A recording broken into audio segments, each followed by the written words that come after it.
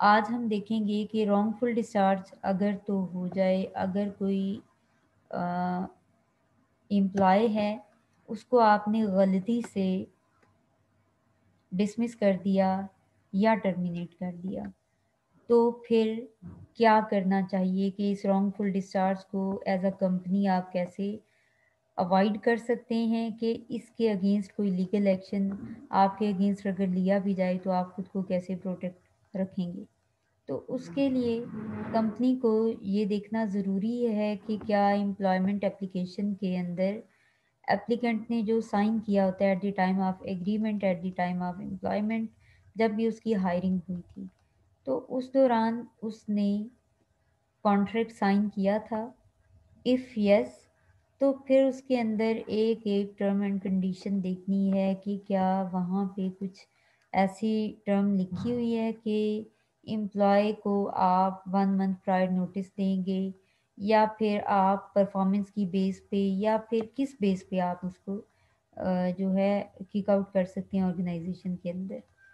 या फिर कोई फिक्स्ड ऐसी कंडीशन आपने मेंशन की हुई है कि क्यों उसको आप टर्मिनेट कर सकते हैं, क्यों डिसमिस कर सकते हैं।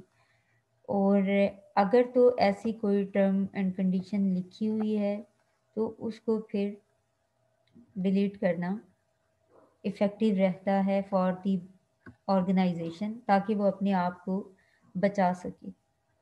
इसी तरह से अपने आप को मतलब सेल्फ डिफेंस के लिए कंपनी फिर एग्रीमेंट के अंदर चेंजेस करने की कोशिश करती है, ताकि अपने आप को सेफ़ रख सके और कंपनी के ऊपर कोई ऐसा हर्फ ना आए या कंपनी का इमेज ऐसा ना बने कि without any solid reason employee को किक आउट कर देती है, उसको डिसमिस कर कर देती है।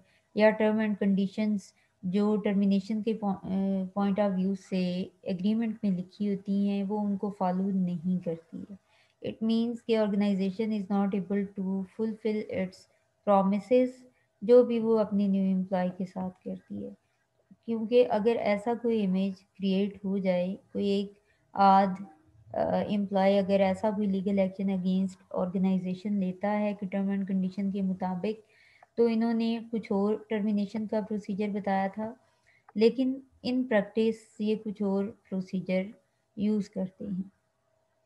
तो इसलिए जो है वो कंपनी अपने इमेज को मेंटेन रखने के लिए या सेल्फ प्रोटेक्शन के लिए एग्रीमेंट में से वो टर्म्स जिसमें कि वन मंथ प्रायर नोटिस या थ्री मंथ प्रायर नोटिस या एक या तीन मंथ की पे का अगर कंपनी ने मेंशन किया हुआ हो तो वो उस टर्म एंड कंडीशन को फिर कॉन्ट्रैक्ट में से डिलीट कर दे ताकि जब भी उसके ऊपर लीगल एक्शन एम्प्लॉय लेता है तो वो कॉन्ट्रैक्ट दिखा दें कि हमारा तो कॉन्ट्रैक्ट ही ये है और ये कॉन्ट्रैक्ट साइन जब हुआ था, तब भी इसके अंदर ये वाली टर्म नहीं थी इट मीन्स के वो उसमें या ऐड कर सक ऐड भी इवन कर सकते हैं कि organisation can terminate any employee और terminate your terminate you at any time और उसके लिए ये भी कर सकते हैं कि organisation may not be responsible to show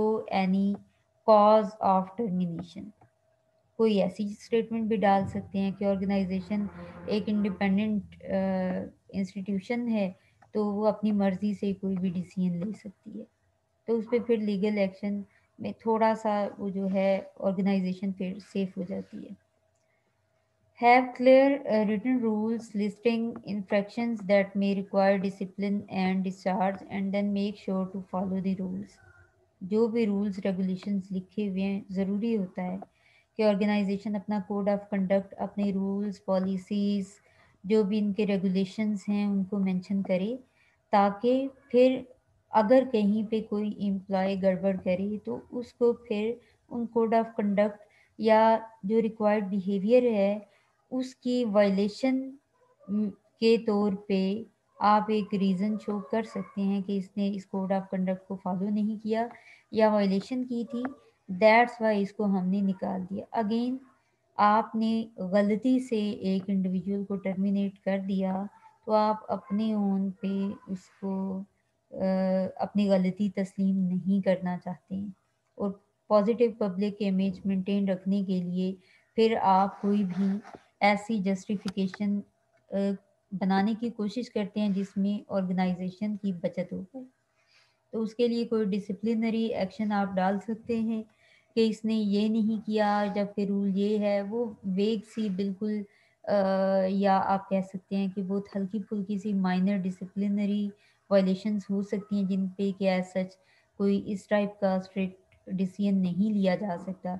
लेकिन ऑर्गेनाइजेशन है वो मेंशन कर सकती है कि हम कोड ऑफ़ कंडक्ट के ऊपर या कोड ऑफ़ कंडक्ट की वायलेशन पे हम ज़ीरो टॉलरेंस शो करते हैं तो इसलिए हमने जो अगर वन परसेंट भी इसको वायलेट करता है तो उसको हम निकाल देते हैं। तो जस्टिफाइबल है, ऑर्गेनाइजेशन उससे बच सकती है। और अगर इसी तरह से कोई रूल ब्रेक हुआ हो किसी एम्प्लॉय से तो उसकी स्टोरी भी सुनी जानी चाहिए। उसकी स्टोरी का record in front of witnesses रखा जाना चाहिए, ताकि अगर कंपनी के ऊपर कभी कोई रॉन्गफुली उस इंडिविजुअल को कंपनी अगर डिस्चार्ज कर दे या उसको टर्मिनेट कर दे तो पता हो कि कोई लीगल एक्शन लिया जाता है या अथॉरिटीज़ के पास अगर वो एम्प्लॉय जाता है तो मैनेजमेंट उसके लिए विटनेसेस को वहाँ पे एज आ प्रूफ जो है वो पेश कर सकती है कि इसके सामने इसने अपना इकरारी जुर्म किया या फिर इसने एक्सेप्ट किया कि इसने रूल की वायलेशन की है। तो इसलिए भी अगेन एक सेफ़ साइड होती है कंपनी के लिए कि वो अपने आप को अगेन बचा सकती है। इसी तरह से एम्प्लॉय के जो अप्रेजल्स हैं परफॉर्मेंस के, वो अगर मंथली बेसिस पे या सेमी एनुअली बेसिस पे नहीं भी हो पाते हैं तो at least at the end of year her year के एंड में जो है परफॉर्मेंस अप्रेजल होना चाहिए और उसका प्रॉपर रिकॉर्ड होना चाहिए। अगर किसी एम्प्लॉय को वार्निंग दी गई है, किसी को इम्प्रूवमेंट के लिए लेटर्स प्रोवाइड किए गए हैं, किसी को किसी भी एंगल से कोई भी वीक पॉइंट उसका अगर हाईलाइट किया गया है तो उसका एक प्रॉपर रिकॉर्ड होना चाहिए। रीज़न अगेन कि कंपनी उसमें खुद को जस्टिफाई कर सकती है कि हमने इसको वार्निंग्स दी थी। ये इनकॉम्पिटेंट है या इसकी परफॉर्मेंस के अंदर ये प्रॉब्लम्स थी और इसको इम्प्रूवमेंट की ज़रूरत थी। हमने ये वार्निंग लेटर्स भी इसको इशू किए थे। इवन देन इसने इनकी इम्प्रूवमेंट के ऊपर कोई काम नहीं किया। तो इसको जो हमने टर्मिनेट किया है वो जस्टिफाइबल है। वो ठीक टर्मिनेट किया है हमने। तो अगेन सेफ़ साइड कंपनी अपनी रख रही होती है। इसी तरीके से कोई मेमोरेंडम्स हैं अगर आ, कोई भी इंफॉर्मेशन अगर या कोई डिसीज़न मेकिंग है जो कि टॉप लेवल पे की गई है और वो एम्प्लॉयज़ तक डिलीवर की गई या कोई नोटिस हैं और तमाम चीज़ें ऐसी जो हैं उनका रिकॉर्ड जो है वो एम्प्लॉय की फ़ाइल के अंदर होना चाहिए। ताकि कहीं ना कहीं से अगर तो गलती से आपने किसी एम्प्लॉय को टर्मिनेट किया है तो कहीं ना कहीं से कोई ना कोई चाहे एक पॉइंट ही मिले, लेकिन मिल सकता है एम्प्लॉय की फ़ाइल से तो कंपनी अपने आप को फिर सेफ़ रख सकती है। और वो वीक पॉइंट तभी मिलेगा जब एम्प्लॉय का रिकॉर्ड कंपनी ने मेंटेन किया हुआ होगा।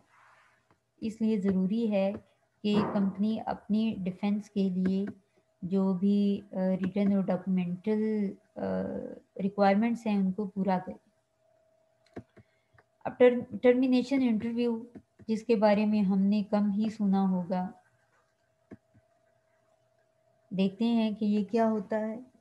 जब भी आप किसी एम्प्लॉय को टर्मिनेट करते हैं तो आइडियल प्रोसेस ये है कि उसके साथ एक इंटरव्यू जैसे हायरिंग के वक्त आप करते हैं ऐसे ही टर्मिनेशन के वक्त एक इंटरव्यू उसके साथ रखा जाए। जिसके कुछ स्टेप्स हैं। पहला है प्लान द इंटरव्यू केयरफुली कि आप पहले इंटरव्यू को केयरफुली प्लान करें कि उसके अंदर क्या होगा, क्या नहीं होगा।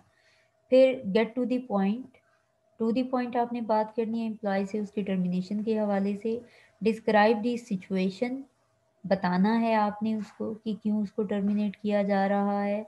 फिर लिसन है कि whatever uh, reason reason employee to tell you वो आपने केयरफुली सुननी है अगर उसने कोई मिसकंडक्ट किया अगर उसने कोई इनसबॉर्डिनेशन की है कोई उसने डिसिप्लिनरी वायलेशन की है कोई उससे मिसहैप हुआ है उसको आपने केयरफुली अंडरस्टैंड करना है।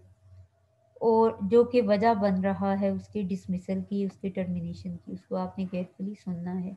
फिर review all elements of the severance package कि आपने जब उसको टर्मिनेट किया है तो उस वक्त जो जो फैसिलिटीज़ जो बेनिफिट्स जो पेमेंट आप उसको दे रही हैं, आप उसको केयरफुली रिव्यू कर लें कि इतना ही डिज़र्व करता है वो, इतना ही उसको पे किया जाना चाहिए, कम या ज़्यादा तो नहीं है।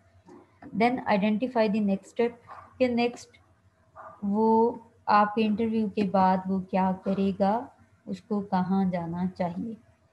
अब हम देखते हैं टर्मिनेशन इंटरव्यू का first step plan the interview carefully make sure the employee keeps the appointment time पहले तो आप उसको अपॉइंटमेंट का टाइम दें। उसको पता होना चाहिए कि उसकी मीटिंग है, ताकि वो उस टाइम पे आपके पास पहुँच जाए। उसके बाद ये जो सेकंड मेन इम्पोर्टेंट है कि कभी भी किसी एम्प्लॉय को जब आप टर्मिनेट करना चाह रहे हो टर्मिनेशन का डिसीज़न ले लिया हो तो फ़ोन के ऊपर उसको इन्फॉर्म मत करें। इसके बाद कम अज़ कम टेन मिनट्स इंटरव्यू के लिए एम्प्लॉय को आप दें। फिर कोई न्यूट्रल साइट होनी चाहिए, वो ऑफ़िस ना हो, बेहतर है कोई ओपन एरिया हो, कोई ऐसा एरिया जहाँ पे वो कंफर्टेबल फील करे और जहाँ पे ऑफ़िस का या कंपनी का प्रेशर उसको ना फील हो। आप वहाँ पे एम्प्लॉय को टर्मिनेशन के लिए अपॉइंटमेंट का टाइम दें। इसी तरह से एम्प्लॉयमेंट की जो फ़ाइल है, जो उसका फोल्डर है, उसमें जो भी उसकी अनाउंसमेंट्स हैं, जो उसके अप्रेजल्स हैं, जो उसका एग्रीमेंट है, वो सारी चीज़ें और टर्मिनेशन के हवाले से और जो आपने उसको पैकेज देना है टर्मिनेशन के बाद या टर्मिनेशन के टाइम पे, वो सारी चीज़ें आपने एक रिकॉर्ड एक फ़ाइल के अंदर लगाना है। और टर्मिनेशन इंटरव्यू के वक्त आपके पास वो होना चाहिए। उसके बाद टर्मिनेशन इंटरव्यू में आपने सिर्फ़ ये ऐसा ना हो कि एम्प्लॉय को बस आपने बता दिया दैट्स इट आपका, आपकी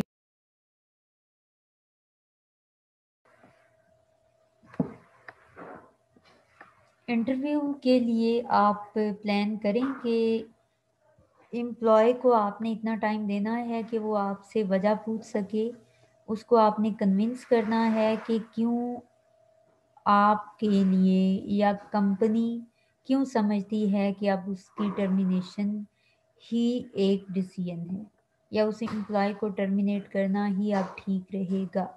उसके लिए कोई रिकॉर्ड उसका कोई परफॉर्मेंस अप्रेजल रिकॉर्ड है, कोई उसके वार्निंग लेटर्स हैं, कोई उसका इनसबॉर्डिनेशन का केस है कोई उसके मल्टीपल वार्निंग्स आ जाती हैं वो या वायलेशन ऑफ़ एनी रूल आ सकता है वो कोई भी चीज़ हो सकती है।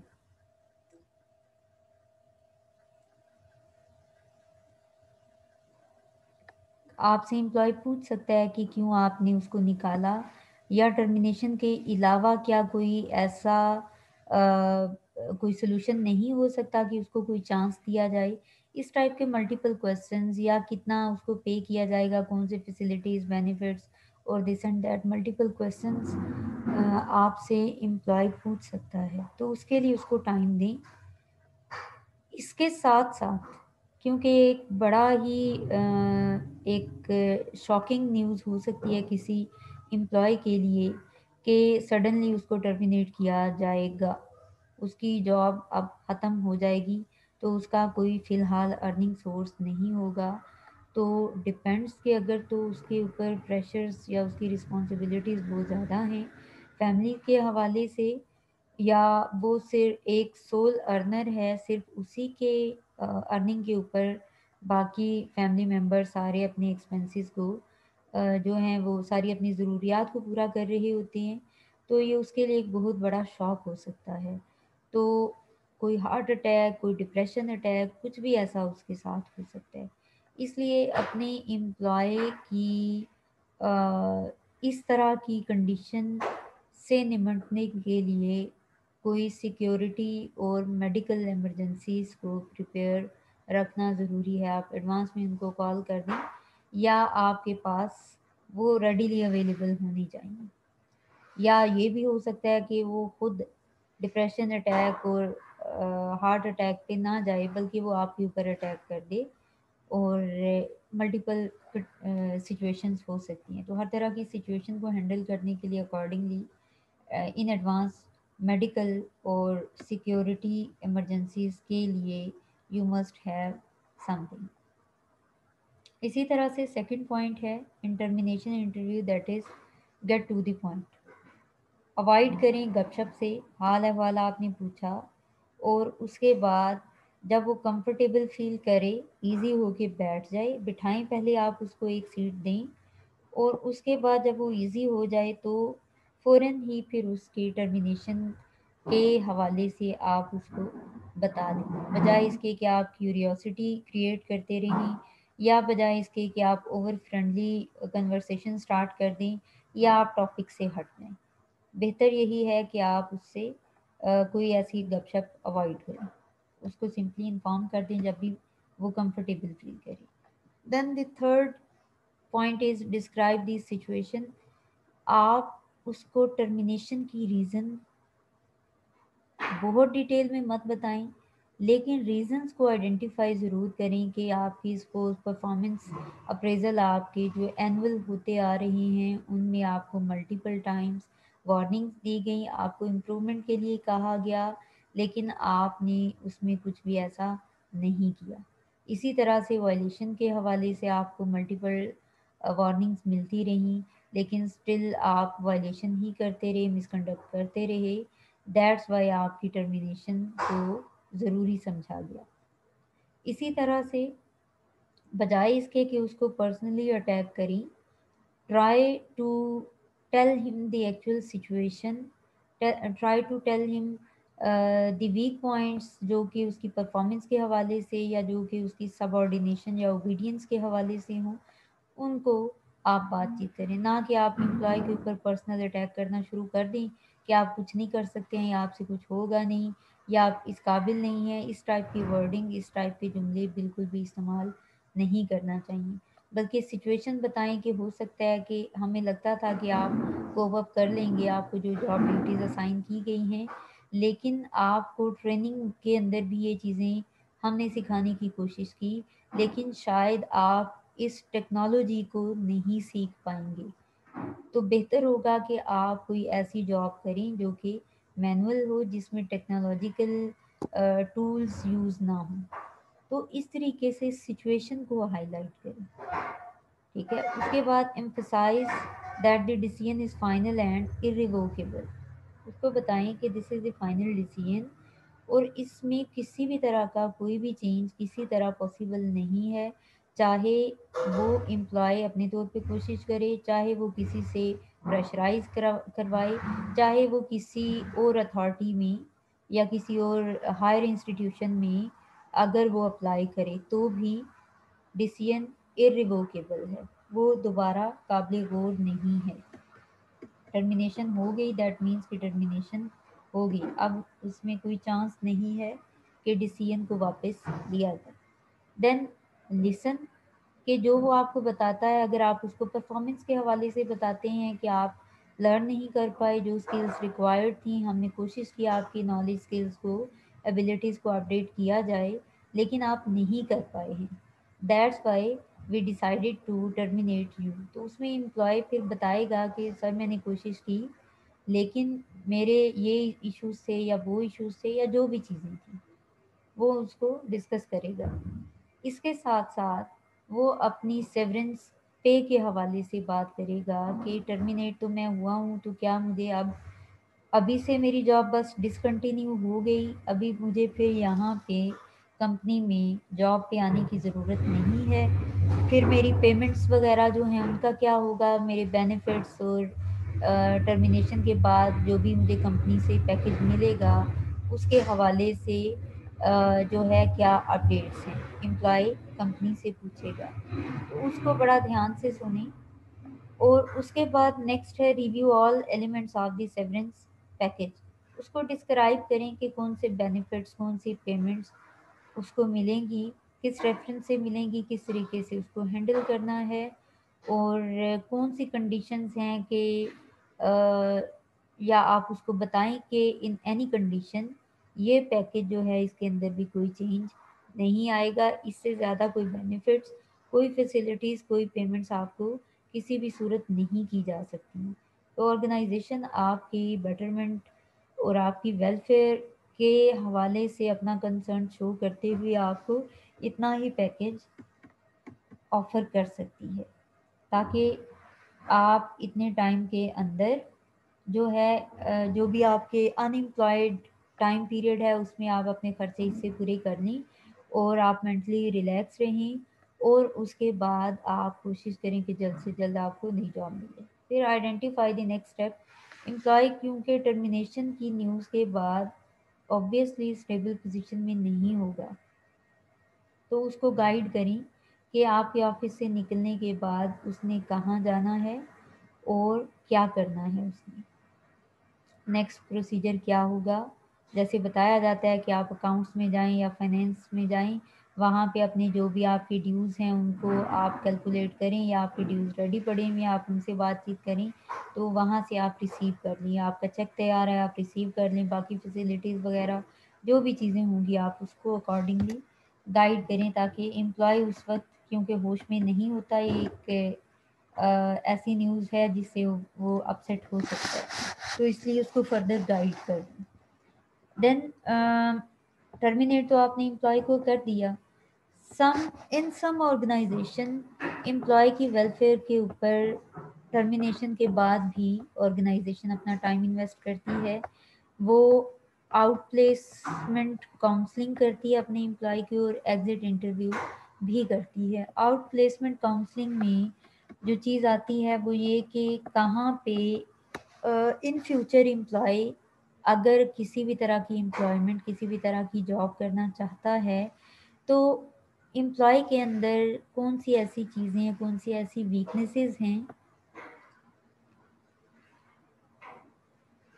कि जिनको ओवरकम करने की ज़रूरत है? कैसे एम्प्लॉय अपने आप को इम्प्रूव कर सकता है? कैसे वो अपनी परफॉर्मेंस को बेहतर बना सकता है? तो इसके हवाले से एम्प्लॉय की काउंसलिंग की जाती है। अब ये ज़रूरी नहीं है कि एम्प्लॉय हर एम्प्लॉय जिसको टर्मिनेट किया जाए, कम, हर कंपनी उसकी काउंसलिंग करे, लेकिन कुछ ऑर्गेनाइजेशन समझती हैं कि एम्प्लॉय को गाइड कर दिया जाना चाहिए। लेकिन उनकी रिस्पॉन्सिबिलिटी नहीं है कि वो उस एम्प्लॉय को नई जॉब ढूंढ के दें, या उसके लिए नई जॉब का इंतज़ाम करें, या कहीं उसको रेफ़र करें। ऐसा ज़रूरी नहीं है।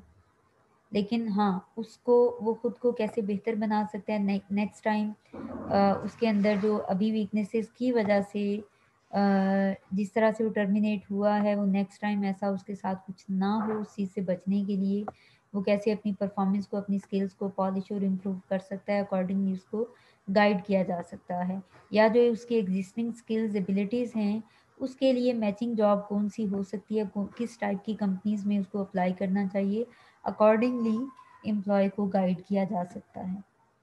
ताकि वो हवास बाख्ता ना हो, उसके माइंड में हो कि चलो ठीक है, अब मैंने परेशानी में इतने दिन ज़ाया नहीं करने हैं, बल्कि मैंने फ़ौर ही यहाँ से निकलते ही जो है फ्रेश हो के वो बस अप्लाई करना शुरू कर देना है और किस टाइप की कंपनीज़ में जाना है। देन डिसमिसल प्लान के हवाले से जो है कंपनी वो अपने एम्प्लॉय को किस तरीके से हेल्प कर सकती है कि एक तो वो सोचे थोड़ा कि एम्प्लॉय को डिसमिसल न्यूज़ किस तरीके से ब्रेक करनी है। उसको बिठाया जाएगा, उसको कम कंफर्टेबल किया जाएगा, फिर उसको आपने फ़ौरन से डिसमिसल की न्यूज़ दे देनी है और उसके बाद क्या उसके जो भी इमोशनल रिएक्शंस होंगे, उसको आपने कैसे हैंडल करना है, वो पैनिक कर सकता है, वो अग्रेसिव हो सकता है, उसको कोई मेडिकल प्रॉब्लम हो सकता है, कुछ भी हो सकता है। तो उस सूरत हाल में आपने तैयार रहना है डिसमिसल प्लान करते वक्त कि ये ये कुछ पॉसिबिलिटीज़ हो सकती हैं तो उसके लिए what will be done in that particular situation और इसी तरीके से इक्वल एम्प्लॉयमेंट अपॉर्चुनिटी प्लान के तहत एम्प्लॉय जो है, उसको कौन से बेनिफिट्स फैसिलिटीज़ दी जाएँगी उसके हवाले से भी, पहले से ही प्लान किया जाएगा। देन एग्जिट इंटरव्यू के आप ये सारी बातें करने के बाद एम्प्लॉय के साथ अपना इंटरव्यू ख़त्म करेंगे और उसके बाद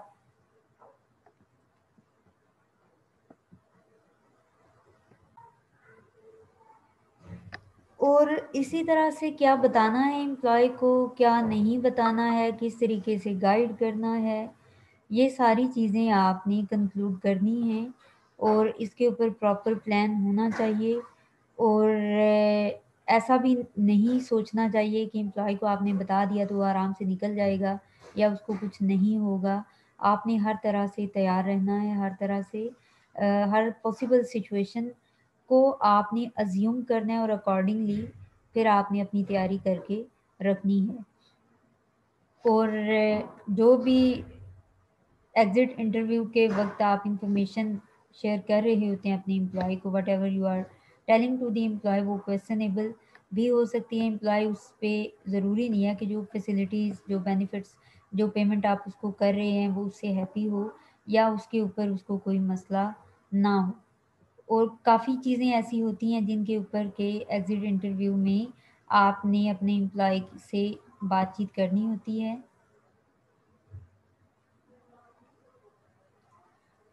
और इसमें कुछ क्वेश्चंस हैं जो कि एम्प्लॉय से पूछे जा सकते हैं कि उसने, उसको रिक्रूट कैसे किया गया था? कंपनी को उसने ज्वाइन क्यों किया था? फिर was the job presented correctly और ऑनेस्टली ड्यूरिंग जॉब उसके वो uh, जो है उसने जो भी परफॉर्म किया उसमें ऑनेस्टी थी और जिस तरीके से परफॉर्म किया जाना चाहिए था उसने जॉब को वैसे ही परफॉर्म किया या कि नहीं। फिर एम्प्लॉय से एक तरह का जो फीडबैक है जॉब और कंपनी के हवाले से और उसका एक्सपीरियंस है ये उस हवाले से उससे क्वेश्चंस पूछे जा रहे होते हैं। फिर क्या उसकी क्या जो भी जॉब और कंपनी से एक्सपेक्टेशंस थी वो मीट हुई हैं यहाँ पे या कि नहीं? कंपनी और जॉब उसकी एक्सपेक्टेशंस के मुताबिक थी या कि नहीं? What was the work place environment like के काम का, का काम की जगह की या ऑर्गेनाइजेशन का जो एनवायरनमेंट था वो कैसा था? काम करने के हिसाब से ठीक था अच्छा था नहीं था? ओवरऑल पॉलिसीज़ रूल्स कोलीग्स सारे लोगों के हवाले से। What was your supervisors management style like supervisor का मैनेजमेंट स्टाइल क्या था? प्रॉपर गाइड करता था डायरेक्शन प्रोवाइड करता था, नहीं करता था? क्या कर रहा था वो? What did you like most और लीस्ट अबाउट दी कंपनी क्या अच्छा लगा आपको कंपनी में, क्या बुरा लगा? और इसके बाद कौन से स्पेशल प्रॉब्लम एरियाज़ हैं कंपनी में जो कि किसी भी एम्प्लॉय के लिए प्रॉब्लमेटिक हो सकते हैं? और, किस तरीके से कंपनी को आपने छोड़ने का फ़ैसला किया, अगर तो वॉल्टरीली एम्प्लॉय का फ़ैसला हो। और इसी तरह से आपने डिपार्चर को या अपने टर्मिनेशन को कैसे हैंडल किया?